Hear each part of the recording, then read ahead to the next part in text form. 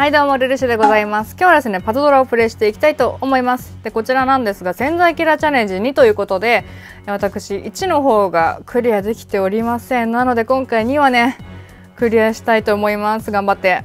でちょっと攻略を見たところ HP 高めの方が安定感あるかなと思ったので闇アテナのパーティーでいきたいと思います。はい。かなりね HP 上がりますし回復力も2倍なのでこれはねいいかなと思って。闇アテナでいきたいと思います。で今回変換スキルが必須だと思います。ベルゼブブかな？破壊かなんかのベルゼブブで毒ドロップ全面毒になるので変換スキルは必須ですね。では行きたいと思います。であとは結構でかい先生が来るのでやっぱ HP 高めの方が安心感があるかなと思います。では行きます。ちょっと久々なのでねちょっとパズドラの実況動画久々すぎあー待って嘘でしょ。指離れた。めっちゃやばいこれちょっと。しょっぱなでこのミスありえないんだけど私。ありえなすぎ。はいもう余計なことしないわ。余計な動きしないもう。はいカウントダウンやってきた。ちょっと吐使っちゃいます。なんか HP をね結構回復してくるのではいはいバトル2ここはドロップをロックまあ、回復があるので大丈夫です。すんごい見づらい。ものすごい見づらい。ものすごい見づらいぞ。何で何ね？で、よしはい。OK。闇あるね。OK。闇ある、水ある。威嚇。エキゾナですね。本当私ね余計な動きをしてしまう癖があるので余計な動きしないようにしようもうもうしてるけどね もうすでにしてるほんとゆうなちゃんの癖だよねゆうなちゃんパーティーに慣れてるのでドロップの操作時間がめちゃめちゃね余裕を持ってやってしまうんですよね余裕を持ってしかももたもたしちゃうんですよね結構ねぐりぐり回して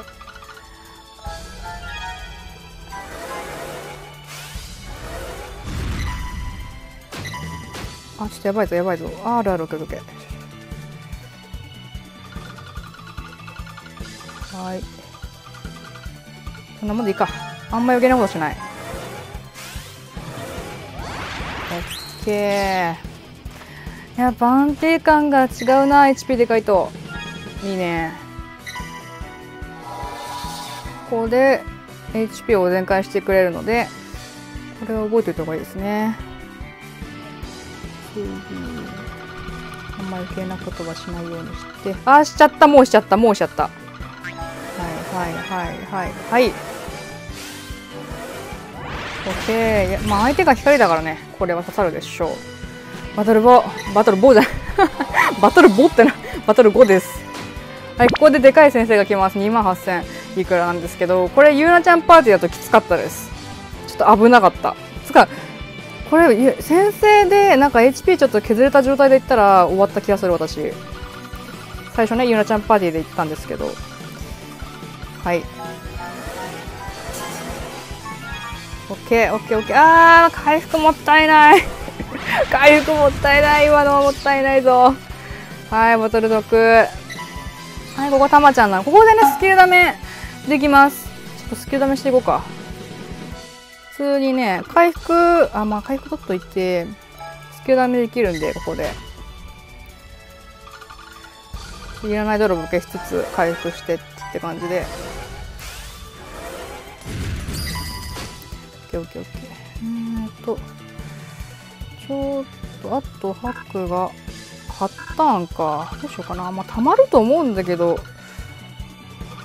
まあ、突破はできないと思う。この、闇に込んでできないですんだよね。あ、できちゃった できちゃったまあまあまあまあまあ。はーい。これで、まあ、闇も光もあるので大丈夫でしょう。あ、闇も、水もですね。闇も水も。下で水揃えて、闇でしょ。よし。どうだろう。突破したかな？オッケー。いい感じ。いい感じ。ここまでいい感じよ。ここで毒になるので変換スキル必須ですね。はい。行きましょう、まあ、普通に突破できると思うので。はい。OK あいい感じいい感じ。盤面もいい感じ。はい次がこちらで先制で3万8910これはゆうなちゃんで耐えられないのでゆうなちゃんパーティーは無理ですってなりました。HP 足りないよってなってね HP がね。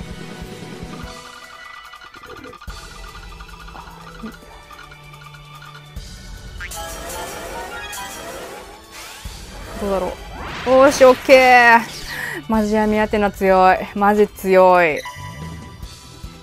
はいここでも先生ですね。マジ強いよ闇アテナ。最高。下で揃えちゃおうか。揃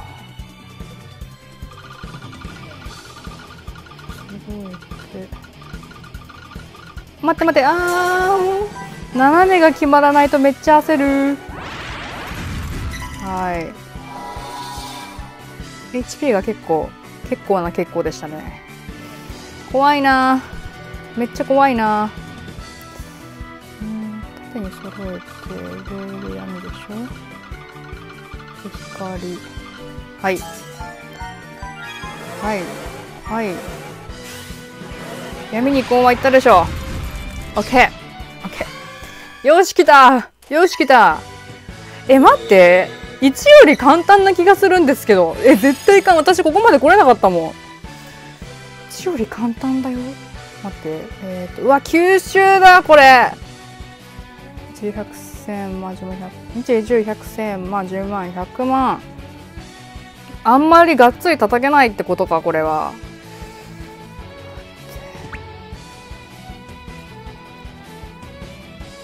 待て。いや待てよ。いや待てよ。怖いけどもとりあえずまあドロップ出そう。いらないドロップを消去して。よし来た闇。まあ6万 HP あるのでそんなにあのねお亡くなりになるってことはないと思うんで。3万6000か。ちょっと待ってよ。ちょっと怖いけどちょっと叩いてみようか。ちょっと叩いてみよう。どれぐらいえーとたこれこれぐらい？これぐらい？これぐらい？邪魔消して。これぐらいなら通るね。ダメージ。オッケー。待って待って回復がないと死んじゃうよ。ちょっと待って。これをターンを遅らせよう。オッケー。これでちょっとお邪魔消してちょダメージというよりお邪魔を消してね。お邪魔消してはい。回復を出そう。よしオッケー。ただや闇とかね消してないからちょっと回復もうちょっと欲しい。ちょっと待って。はい。出た。オッケー。回復出た。よし。これでちょっと殴ってみましょう。回復しつつ殴ってどれぐらい。あ待って待って。あー。超焦った今。オッケー。よしよしよし。これでちょっと待ってよ。うん闇ないんだよね。闇がないんだよね。そうでえー、どうしようどうしよう。これさ無効になるかな。ちょっと待って。これであんまりドロップ組まないようにするとか無理だもんねこれね。上の方でちょっと組んで。これどうだろう？これぐらいどうだろう？クリアした！よかった！やっとく。よかった！なんとかクリアできたわ。はい。よかった。1クリアできなかったから嬉しいわ。わーい。これは嬉しい。これは嬉しい。めっちゃ嬉しい。素晴らしい。わーい。はいということで潜在キラチャレンジ2をクリアしたのでこちらのガチャを引きたいと思います。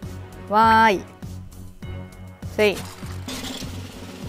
やー1もクリアしたかったな頑張って。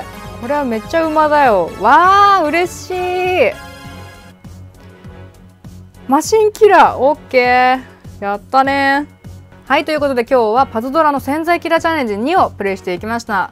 え無事にクリアできてちょっと安心しました。よかったです。闇当てなパーティーかなり、えいいかなと思いました。安定感あるしまああのー、なんだろう。相手の先生にもすごい耐えられるので闇当てなパーティーはかなりおすすめです。で要注意なのが、え、バトル後で先制攻撃が2万8000いくらかな？降るのとあとは、え、ベルゼブブバトル8のベルゼブブでドクロが全面ドクロになるので変換スキルはバトル8までに貯めておく。